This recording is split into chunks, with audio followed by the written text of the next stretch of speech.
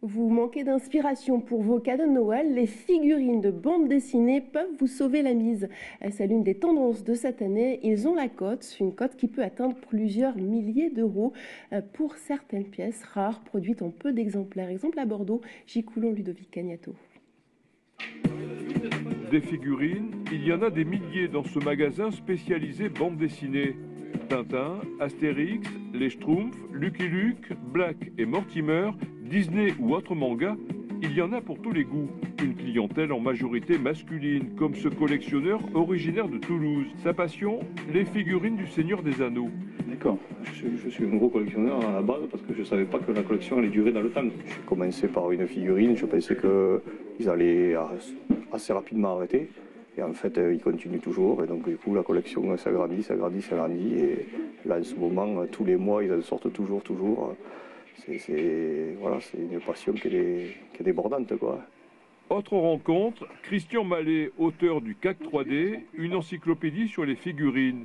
Dans cet ouvrage, tous les produits sont présentés sous forme de fiches descriptives avec de nombreuses informations, le prix, la date de production ou l'identité du sculpteur. Euh, c'est des bouquins que je ressors tous les trois ans et, les gens ont accès à un site internet où ils peuvent regarder la cotation des objets.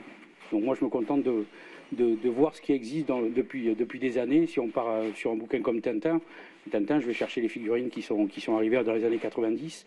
Donc là, il y, a une, vraie recherche de patrimoine parce qu'à l'époque, les fabricants qui existaient n'étaient pas sur Internet.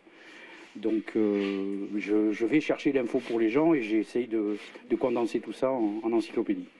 Côté tarif, les prix fluctuent de 15 à plusieurs milliers d'euros, 1450 pour la bagarre d'Astérix, ou alors cet avion de Tintin produit à 77 exemplaires, 6000 euros, une véritable œuvre d'art.